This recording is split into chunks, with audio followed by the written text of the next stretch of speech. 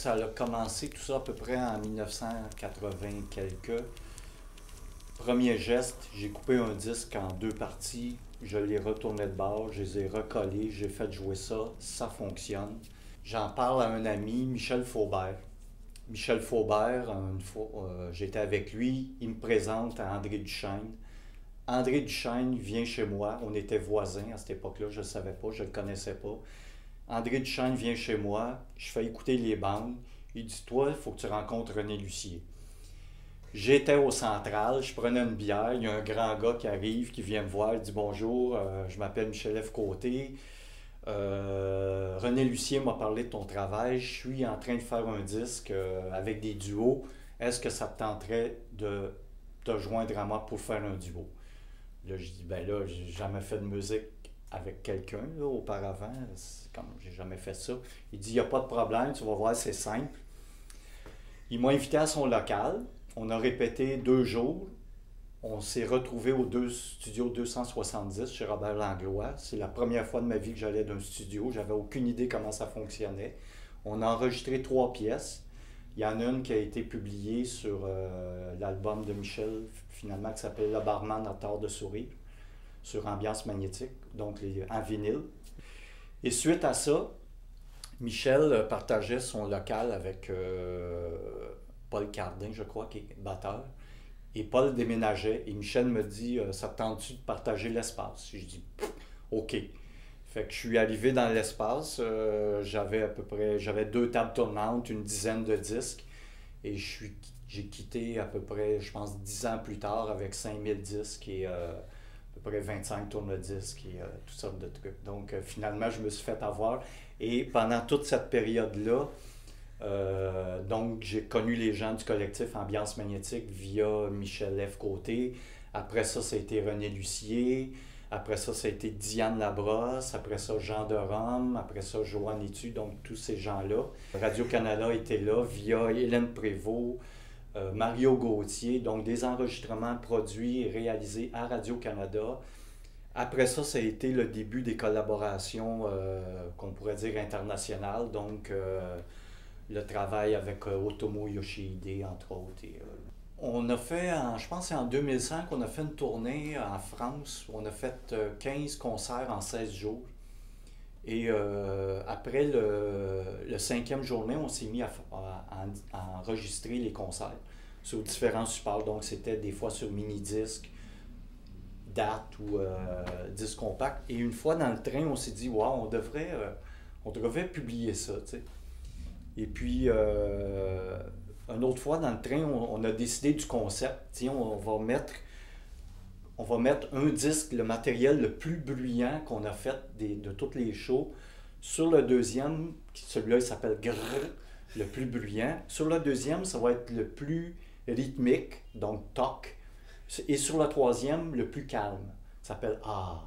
Et en, en, faisant le ménage de tout ça, il restait du matériel qu'on n'avait pas retenu mais qui était quand même potable. Là, on s'est dit, tiens, on va en faire un quatrième qui va s'appeler hmm, parce que c'était le matériel qui n'était pas retenu. Donc, ça a donné cette, euh, cette euh, quadralogie, comme on dit ça. Mais dans les autres collaborateurs avec qui il y a des disques importants, il y a aussi avec Diane Labrosse, puis Queen Maury.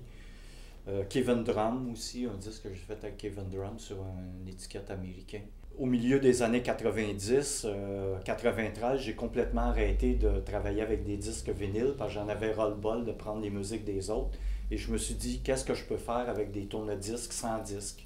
Donc, je me suis mis à, développer tout un système de travail en utilisant vraiment le tourne-disque comme objet de production sonore, ce qui implique tous les bruits internes, les mauvais contacts électriques, les aiguilles finies, euh, fabriquer des disques dans des matériaux divers, de plastique coupé. Euh, donc, c'est vraiment un travail presque d'art visuel, en fait. C'est vraiment le lien entre les arts visuels et la musique. Donc, c'est une musique abstraite d'objets, musique de matériaux, musique d'objets. Depuis à peu près deux ans, le travail solo, je le fais plus euh, via la composition parce que j'ai je travaille avec un quatuor de tourne-disques. C'est quatre super bons joueurs, Nancy Taubin, David Lafrance, Alexander Maxwin et Magali Babin. Et euh, donc, Finalement, c'est celui qui, au niveau des bourses, euh, est vraiment très bon. Je, Ah. reçois, je reçois des bourses pour ce projet-là tout le temps. Et j'imagine que c'est peut-être parce que je fais travailler des gens aussi. Euh, mais aussi, la- l'approche de composition est un peu singulière parce que composer quatuor de tourne-disque, c'est assez rare. Donc, du coup, et parce que aussi, je développe aussi un, un système de partition qui, euh, éventuellement, dans 4-5 ans, 10 ans, va pouvoir être rejoué par d'autres platinistes. Donc, euh, il y a un côté aussi de, de créer un corpus dans un chaînon des musiques euh, qui n'existent pas beaucoup. Parce Oui, qu'on parle de- de- de- d'instruments. oui, le tourne-disque est un instrument, c'est vrai, mais il n'existe pas beaucoup de, de, de partitions pour tourne-disque. Si des fois je suis invité à faire des, des sets de DJ, ça m'arrive, et oui. Je me suis fait d'ailleurs une anecdote là-dessus assez Ah euh, intéressante. J'avais été invité à, à la Hayward Gallery à Londres pour faire un set de DJ. Il y avait une grosse exposition sur le son. Et le soir du vernissage, ils m'ont invité à faire un set de DJ, pas un show. Faire de musique, là, euh, le monde mange des sandwichs, ils prennent du verre, puis je vois de musique en arrière, tapisserie. Et puis là, euh, j'avais, j'avais amené une sélection de vinyle, donc faire vraiment un set. Puis là, je me mets à jouer, puis là, le monde s'assoit. Là, euh, je dis non, non, là, c'est pas, euh, c'est pas un show là, que je fais, là, c'est un set de DJ. Le monde, il reste assis. Puis là, je dis, qu'est-ce que je fais avec ça, tu sais, parce que je peux pas faire un disque, après ça, un autre disque, c'est, c'est pas, c'est pas un show. Fait que là, je dis, OK, plan B, plan B, qu'est-ce que je fais? Là, ce que j'ai fait, ça a donné lieu à un travail que j'ai poursuivi après. Donc, c'est vraiment de l'improvisation dans le geste aussi, de création. Donc, ce que j'ai fait, c'est que la table de gauche, je faisais jouer les disques normaux. Et la table de droite, j'utilisais juste la table pour faire du bruit. Et donc, il y avait le haut-parleur de gauche, c'était de la, belle musique. Et le, le haut-parleur de droite, c'était juste du bruit avec la table tournante, les deux simultanés. Donc, il y avait comme deux concerts en même temps. Il y avait ceux qui voulaient écouter juste de la musique, puis ceux qui voulaient écouter le show de musique abstraite, mais les deux en même temps. Donc, après ça, j'ai développé une série de, concerts comme ça, euh, à partir de cet accident-là. Ben, même quand je travaille, quand j'improvise, je provoque des accidents euh, sonores. Parce que, bon, euh, mettons, je suis en train de jouer, puis là, je me dis, OK, trouver une stratégie pour changer de matériau. Ce que je peux faire, par exemple, euh, bon, les plateaux, ils tournent, les bras sont sur le plateau, ça va bien, papa, papa. Là, ce que je peux prendre, c'est que je peux prendre, un, je sais pas moi, une pile de disques ou un objet, puis boum, je le fais tomber sur le, carrément sur le bras de table de lecture. Et là, ça change complètement. Et là, je poursuis, suite à cet accident-là, je repoursuis l'improvisation ailleurs jusqu'à temps que je m'entende que je refasse aussi un autre accident et ainsi de suite. Ah, j'ai fait à peu près euh, en disque, là, euh, euh, en calculant avec les collaborations et tout ça, à peu près une soixantaine de, de publications sur des, étiquettes, justement à cause des voyages, des tournées comme ça, donc sur étiquettes qui sont Japon, États-Unis, France, Pologne, donc euh, sur, euh, beaucoup de les Belges aussi. Donc euh, je suis assez. le virus est assez bien installé.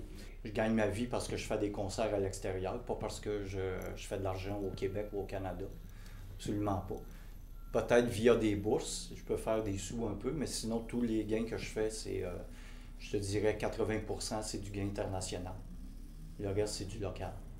Et Et ça, c'est, je pense, c'est valable pour beaucoup d'artistes euh, qui sont dans le domaine euh, des nouvelles musiques aussi, tu sais, euh, et tout ça. Avec les années, euh, bon, vu que je suis un peu plus vieux que les plus jeunes, hein, donc là, ça amène un nouveau public plus jeune qui, là, qui redécouvre le travail du tourne-disque, puis que là, ils disent « Ah ouais, lui, il faisait ça dans les années 80, tu sais. » Puis là, ils viennent voir ça, tu sais, ça, ça les intrigue. Donc là, je suis rendu que ils viennent voir l'histoire. C'est assez bizarre à dire. ils, ils viennent voir euh, quelqu'un qui a fait ça. Et là, eux autres, ils arrivent puis ils me donnent des CD. Puis là, tu écoutes le disque tu dis Waouh, ils sont. Eux, ils commencent, puis ils sont rendus où moi je suis. Ça m'a pris 25 ans faire ça, puis eux autres, ils commencent aujourd'hui. Et ils sont rendus à la même place. Donc, ça veut vraiment dire que la musique, ça évolue vraiment pour vrai. Il y a vraiment une passation du, du- langage euh, oral ou physique de la musique qui existe vraiment pour vrai. Là. C'est pas juste euh, pour faire des beaux textes dans des demandes de bourse. C'est vraiment, c'est vraiment vrai.